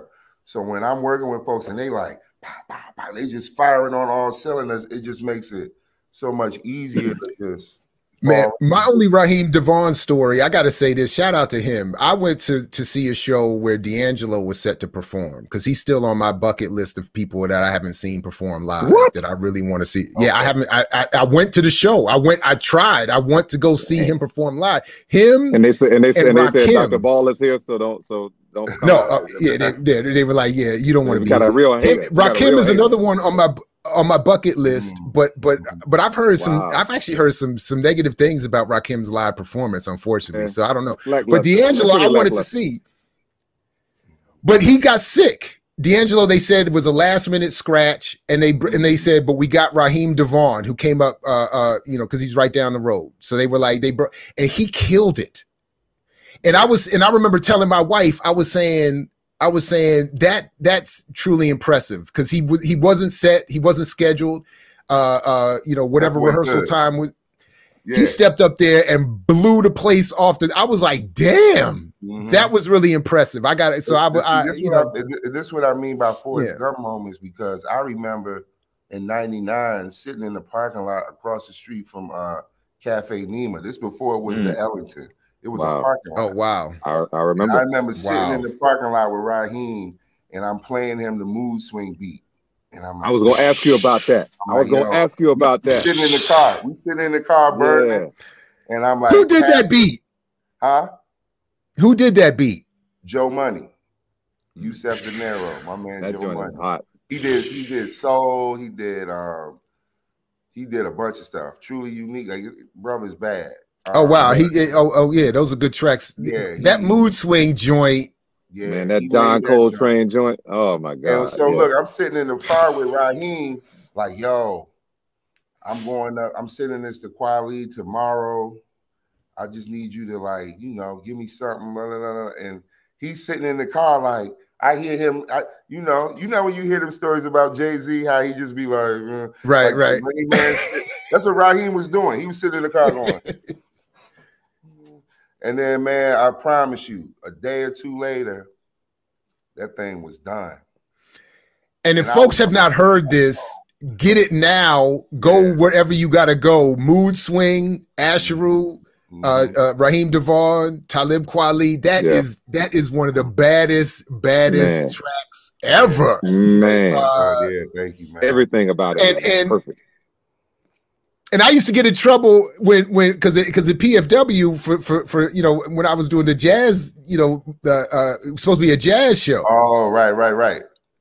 You and I would rock that. that joint. I remember Ron Pinchback called me one morning the former GM called me one morning. I was on the air early in the morning. I played that and la la la la la. Yeah, yeah, yeah. La la la. And I was like, it, was what is this? That is supposed to be a Coltrane. It's a that's not this is jazz, not hip hop. Oh. It is supposed to be. I was like, my man, you not listening? Are you hearing this joint? Yeah, anyway. No, joint was crazy. uh, anyway, yeah. yeah, yeah, yeah. Very well done. Um, yeah, I'm definitely. I still, yeah, I definitely I still, I still bang that. I still bang that. Like oh that's, yeah, that's, that that that stands up. That's like that's what you call a classic. It Thank stands you, up right now. Like how, how long was Absolutely. that? Like, like, Twenty years ago. How long was that? 14, was that? about 14, 14 yeah. years ago. Okay, yeah, man. That's yeah, that joint is hot, man. It, man. And even yeah. like that, you know, even songs like um Jamboree, you know, like people don't know 88 mm-hmm. did that beat. Mm. Oh wow. Like I was working with I, I remember being at New Nuyorican with Mos and Kweli back in the day when Cosmology came out before the first. Wow. Album. Oh wow! This is when they were first on Rawkus. You know what I mean? Mm-hmm. And we were on Seven Heads. So we were always running in the same circles because Seven Heads used to do street team for Rawkus, which is how we were yeah. always in the same. Oh wow! okay. Bam Sadiq, like like Apani, like all of them folks you remember from way back then. Pumpkinhead. I remember. I remember oh, being wow. in Amsterdam with Pumpkinhead, riding around doing workshops with hmm. kids and stuff. Like people. Oh wow! So it's like so many of these experiences, man, just help build the build all of what I what I do. You know what I mean? And it's why I've always stayed in the lane that I've been in. Because I've had friends, like close friends, be like, "Man, you will blow up if you didn't rap about that shit you rap about." You know what I mean? And I'd be like, "Man, come on, man. What what you want me to rap about? This stuff that I don't know nothing about, or you want me to?" be authentically me. You know what I mean? And and I've just But see, I always thought, see, I, so I've I've in my mind, I have you in that lane of artists that shouldn't have that particular problem. Like I don't it's not that you rhyme about nonsense, but your politics, it's not it's not this like the overt of a dead prez or a public enemy right, right, right, or whoever else. And, and so I've always thought Mm-hmm. But that's what I'm saying. Like I've always thought mm-hmm. that this you people like you, people like Maimouna Youssef, people like like uh, um, mm-hmm. Oddisee to a certain extent that, that I know who've come out of this area who who who have blown to a certain extent, but should be so there. You all are the proof of the, the fakeness and the whackness of the industry because mm-hmm. there's no denying the talent and the skill, and nobody is out here. You, it, there's no again, it's not the overt rhyming or the overt projection of politics that that that would, you know, terrify people. Uh, no, but you know what it uh, man. Just, it, it, it, just takes time just, yeah. for people to catch up. It's like we're in a we're in a space now where it's it's kind of um, I won't say trendy, but it's kind of more the norm for people to be a little more conscious and to be a little more discerning of what they live. Maybe in the circles I'm seeing, but people are a little more discerning now. They're not before it was just blind leading the blind. And I think mm. we were trying to make the music we were making in that kind of climate. And I think now people are catching up. Like people are just hearing Sleepless in Soweto. That was seven oh, years oh, wow. Ago. But they're just now going, oh, I get what he was doing with the, the, the, you know what I mean? So I just think that over time, if you keep at it over time, the, the people will catch up to you. But it's like you can't try to gauge or cater to what you think the market is because it's unpredictable. And half of them, like half the stuff they listen to, I would never listen to. You know what I mean? The stuff that they think is dope won't even get no play in my house. So it's like knowing that you got to just make it and the people will find you, man. And I think that's what's happening. Like Oddisee, he's he's found his niche has found him. Mm-hmm. You know what I mean? Versus him putting it out there and trying to find everybody. His people found him. Like if you if you like un- independent music, if you like his type of music, if you like his rhyme style, you like the fact that he's um, Sudanese, if you Muslim, he got all those little niches of people that right, like, right. You know what I mean? So it's the same thing. I have my niche of people who are like, you know, he's an educator. He does this. He, I support that, bro. I love that brother, and they'll support it. You know, so it's just you got to just keep making it for the ones that support you and love you, and not worry about whatever. But but part of my point is that when I played when because I've I've even to a certain extent it's been like a, a sociological uh, uh, uh, uh test in my own household. Mm-hmm. From from the time my children have been born, I play them all your music and they listen. They're kids. They're, young people. They're teenagers now. They hear everything that's out there. They know what's hot. But right. when they hear your music, when they hear, I played um, uh, um, uh, Oddisee was we when that album came out, we rocked it a lot with the kids, and we just played it. Uh, one of um, uh, um, ready to rock, ready to roll. That track he did, yeah, like yeah. we just played it again the other day. My kids were loving it. It's like mm-hmm. again, they were like, "Oh, Daddy, I remember you playing that before." They're yeah, like, yeah. yeah. I'm like, so my point is, people, if they hear it, if it's exposed exposure. to them, it's exposure. Sometimes they're going to love it. Sometimes I think I think I think it's the I, I, just I always put it at the industry does a very good job at promoting uh, uh, and pro- projecting the versions it prefers, exactly. so that that that it, it, just limits the exposure. That but I think that yeah. So I mean, anyway, I, the exposure, but yeah, sometimes like my kids, my my kids have been exposed to my music their whole life. My daughter, my oldest daughter, she's very eclectic. She listens to all. Me and her got a very similar playlist, right? My mm-hmm. son, though, my oldest, he listens to everybody that I don't. Right, right. And that's his influence as a young black man. You know, he's into he's into what he likes. But the funny thing is, he'll come to me like maybe once every two months or so. He'll be like, Dad, I ain't know you made this. And he'll play something. He'll be like, Yo, you was spitting on it. I'm like, boy, I've been spitting your whole life. Exactly, exactly. but you know, media, school, mm-hmm. peer groups, they they they shaping your kid just as much as you are. You know what I mean? Mm-hmm. And that's why when I go into schools and I do these workshops, I always I always do that this activity where I tell them to name me your top five, and they mm-hmm. write down their top five, right? super excited. Mm-hmm. They write down who they love. And it's always people like Polo G and Lil Durk and you know, they they naming their five. I don't even know who they are. I yeah, yeah. and are. then I put and mm. some of their music is dope, but you gotta for me, I gotta really dig through it. Like they gotta really point it out for me because I can't go through the whole thing trying to pick a diamond out. But after mm-hmm. they write their top five, I, I put three columns on a piece of paper. In the first column, I write these themes. I write God, school, jail, drugs, sex, money, etc. And then in the middle, I say, what do your top five say about these things? And they get all excited. They're like, can we curse? I'm like, yeah, say whatever they say. So they write it all down. Little so and so said, bitches ain't shit. Blah, blah, said, fuck it, I get more money, I'll blow the bag today. They write it all down. All like super excited because they're sharing and Everybody said, "What's that line that he said?" In the da, da, da, you know. and then I wait till the last concert. After they get all of that out, we read it out and they share it all out. They're giggling because they get the curse and all of that. Then I get to the last column, and I say, "What does your mother, father, grandmama, and them say about these things?" And then they write that. Then then it gets quiet because now they're like, "Shit," and they write it all down, right? And then at the yeah. end of it we look at it, and I'm saying, and I end up saying, I always say to them in closing, like, I'm not saying your music is trash.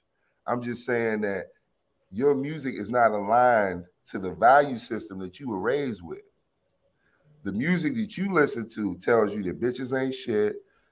You ain't got to save your money. Fuck school. Jail ain't is, is something slight. Um, you know, all of these things. But when I ask you what your parents say, they tell you save your money. Don't have sex until you're an adult. Uh, go to school, finish school, don't go to jail. All the stuff that they telling you is the exact opposite. So you have to understand that this music is just entertainment. It is not your value system. These ain't words to live by, and y'all repeating them over and over and over again like that is having an effect on you. We used to tell C. Delores Tucker she was crazy, but I told you. Did, she might now, right. now let everybody clip that because that that's a clip. Yeah. Somebody clip that. Yeah. Somebody clip because because just just because I had this this lovely debate with Davey D. Mm-hmm. I had done a, a, a, a presentation and, a, and and I've written an article that was supposed to actually be it was it was supposed to go in as an introduction to Tucker's uh, unpublished uh, biography that her her widow was going to publish. I don't know whatever happened oh, to wow. that. But and but my argument was she wasn't perfect, but on this argument, this point, she was right. In the in the hip hop histor- historical narrative on this issue, got it wrong.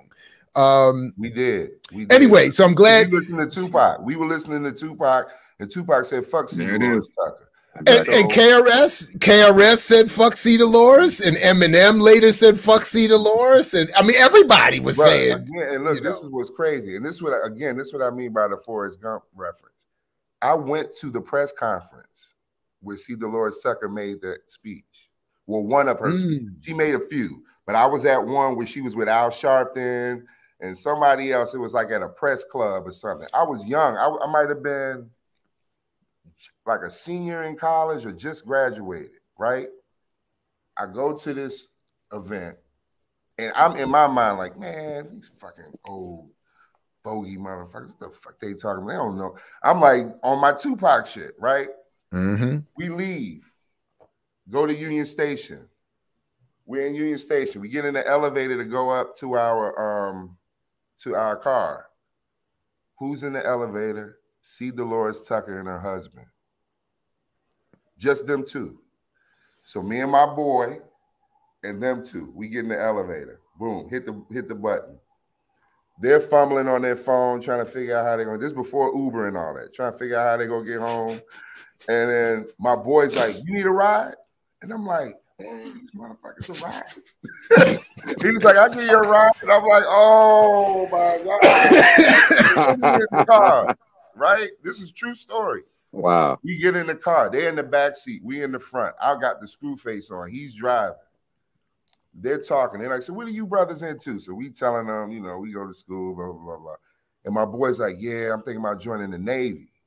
And C. Delores Tucker's like, yeah, my husband was in the Navy for blah, blah, blah, blah. He's retired. now. she's, and he was like, you should do it, man. You be retired in 20 years and you out of there. He was telling them all of this in the car, right? I ain't have the balls to step to him about the hip hop stuff. So I just stayed quiet.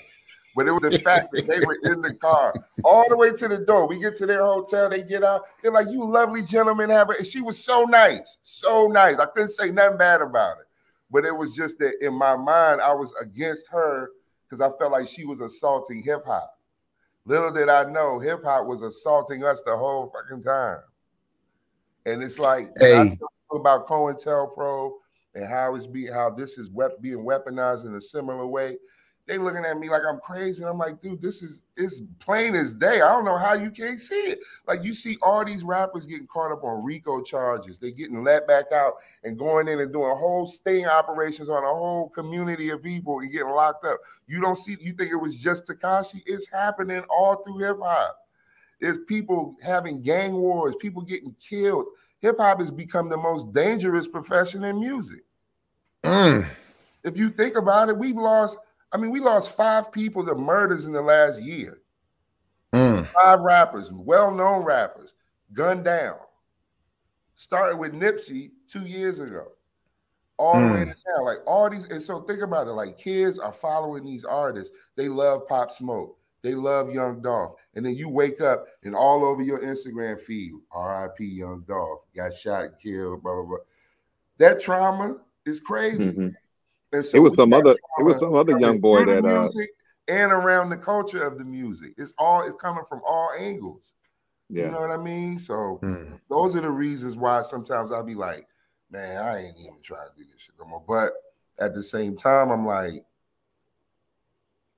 I have to remind myself that you know my voice is important and somebody wants to hear it.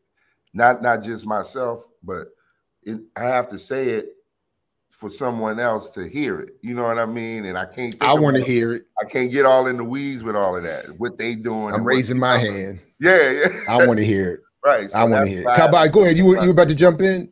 Yeah. No, I was just gonna say there was another young rapper. I, I, a lot of these people I haven't even heard of. I honestly I hadn't even heard of Young Dolph, but there was another one just after him, like a week or two ago, uh, that yeah. got killed. You know, so it's just to your point.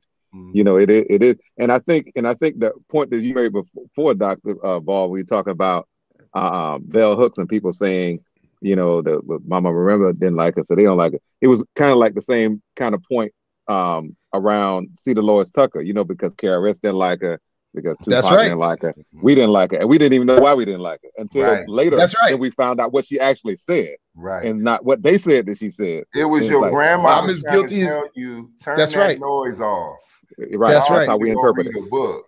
That was a filter. That's right. That was a filter. And and yep. so so whether it's the fifth tenet of the counterintelligence program that specifically said that black youth must be turned away from black nationalism uh, mm-hmm. by any means necessary was essentially what they were saying. Uh, or or whether it's things like you know this was the point I was trying to bring up with Davey D that that that uh, Jeff Chang and other scholars have and historians have literally uh, um, truncated and erased and misrepresented what Tucker was saying, even as they retell the history in their history books. So it's it the, the mythology about her is retold and and it, sort of institutionalized as bad hip hop history. So when you go to Can't Stop, Won't Stop, and this is part of what I was writing about, he literally cuts off her Senate testimony uh, uh, and, and other statements to to to present the the mythological picture of her being against hip hop uh, when and, and when you read the whole thing, she's saying exactly what you're talking about is happening right now. Corporations have taken over the, the, the the art. They're projecting the worst forms that are having the worst impacts on our youth that are being used to not only uh, um, uh, encourage this kind of behavior that you're talking about, but then a, a further repression from the state because then everybody right. says, "Look at these young. They all look at it. Look at them. Now we got to come in and lock them all." And she literally even said, "Get rid of prisons and open up more schools." Uh, I mean, she was literally saying that, and everybody, True, myself included, at the time yeah. was like, "Oh, yeah. shut up!" And she was challenging. Yeah. she was challenging the board. She was, was challenging the corporations. She wasn't just challenging the That's rappers; it. she was challenging the corporations themselves. That's right. And the and the rappers, in trying to defend themselves, were actually, in effect, protecting the corporation. Right. You know, they were defending the corporation. And right. she was saying, no, we need to get on these boards. We need to, you know, target them and all these other things. So she was Absolutely. making some real serious points. And, and, and, look, and to this day, there's still remnants of any anybody that has a criticism of hip hop, they still got to deal with that pushback. Mm-hmm. You can't have no criticism of hip hop. And I feel like at this point, I'm not well versed in this uh, Afro pessimism thing. I'm intrigued by it. I'm not well versed, but there needs to be that version for hip hop. There needs to be a, mm. a Afro hip hop pessimism that needs to go on, so people understand. Like, yeah, there's the beauty and the glory of hip hop, but some of this shit is like, come on, man, y'all gotta really like. Let's be if we gonna really talk about, it, let's really talk about. It. Like, nobody wants to talk about Bambaataa, for example. But oh, we have man. to talk about it. If we, we gonna, do have to, we gonna be real. We have to have yeah. those conversations but people are not, you know, we we romanticize it so much sometimes that we try to like yeah. look as I was shocked when I heard KRS One say Bambaataa right. is above reproach. He is above he any right. I know. And I was looking at KRS like, are you crazy? Like that's I can't believe for my KRS. is saying that. so that's right just, too. He was... I just think that we have to we got to look at this stuff differently, man. We just got to keep it real, and, and we yeah. can't sugarcoated, especially the ones that's been in it. You can't. We if yeah. we're gonna really preserve it and have it for down the road, we have to tell the whole story. And right now, our kid, the version of hip hop and what our kids think hip hop is, is not anywhere near what we know it to be. And we got to remember, it's only 40, 50 years old. That's right. We're not talking about a 300 year legacy. We're talking about something that's still in its yeah. infancy and still young enough that we can still shape the narrative. It ain't too gone where we got to try to pull it back. We can still, but we got to be real with it, man. And I think right now it's a lot of it is out of our hands. It ain't. I don't even know what to call that shit. Listen, the the the so so two things because uh, um, uh, uh unfortunately we do need to to wrap here in a couple minutes. Uh, uh, unfortunately, uh, and it's my fault really. Um, otherwise, we could keep going. It's just that uh, you know, like we were saying, the rest of the world wants to to interfere. You know, yeah, keep, yeah. keep imposing itself on. But but two things at least going away from today. One and then I do have one more question for you, but but but one, we're going to um, uh, Kaba and I are going to to uh, um, uh, uh um, destroy you in spades on your first podcast. No, I And the other thing that I want to say publicly that I'm going to I would like to help arrange now that you mentioned it. One, I would like for you to check out our interview with Frank Wilderson about Afro pessimism, Okay. and then I am going to uh, uh, I'm not even going to ask your permission. I'm just going to say I'm going to try to put you in touch with him and have you have I don't know come up with the Yeah. initial Afro pessimistic pessimism track uh, that you can launch this new initiative. So Let's so I, that'll be my so that's my promised contribution. Uh, but which leads me to this last question, which is because what, what I'm suggesting and and encouraging here is this combination of what you've been doing for a long time, which is this art and uh, uh, and the art and the educational piece with guerrilla art uh, and and and and elsewhere. Uh, you may have already been doing that a little bit, but could you say a little bit about that work and and Yeah. and what its goal is, uh, and maybe what what's what the latest is with it?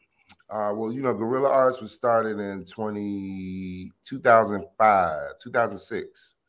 Um, and our goal was to recruit, train, and hire the local arts community, pull from our local arts community, and have them serve as teaching artists in school. So, passing along these transferable skills of being a DJ, a muralist, a theater person, beat producer, MC, whatever. So we were having our our local arts peer group serving in schools, and um, it allowed the artists to still travel and do what they needed to do, and at the same time pay their bills by giving some time back to the kids and getting paid through that that function. So that's kind of how we started. Um, but the goal has always been to, for me, has always been to revolutionize the way we do teaching and learning. Period, just Mm. across the board. And so that's why we created the Hip Hop Educational Literacy Program, that series of books. Um, fast forward to now, we have a digital app. It's called the Opus app. Uh, if you go to theopus.app, it's a, a lesson plan builder that lets you make culturally responsive lesson plans in like five clicks. So we saving teachers two hours of planning just by messing with this app and making their lesson plan. So yeah, that's up. That's running right now. Um, and I'm working with uh, Outer Space Labs, which is this venture to uh, create outdoor learning labs made out of uh, reusable shipping containers. So we're taking these containers and creating like like maker labs where they can do drone fly drones or do um, 3D printing or make a podcast or record a song. They could do it, but these outdoor kind of spaces.